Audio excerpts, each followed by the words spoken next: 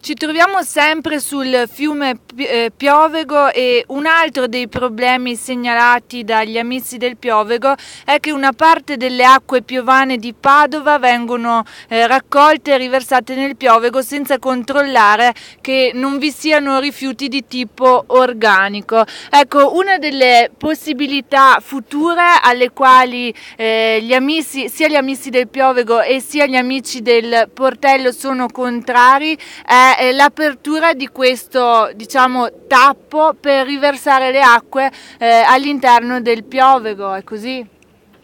Sì, eh, l'amministrazione comunale ha preannunciato che eh, aprirà una nuova linea di collettore eh, di acque meteoriche ehm, per eh, convogliare le acque appunto di via Portello direttamente in Piovego a circa 50 metri di distanza, forando le mura del 500. Quello che abbiamo visto è un'attività preliminare, il cosiddetto carotaggio, la previsione poi appunto di fare i collettori eh, a, livello, a livello delle acque. Noi siamo contrari perché chiaramente andare a forare per questa ragione un monumento del 500, il più grosso monumento che abbiamo, non dimentichiamo in città,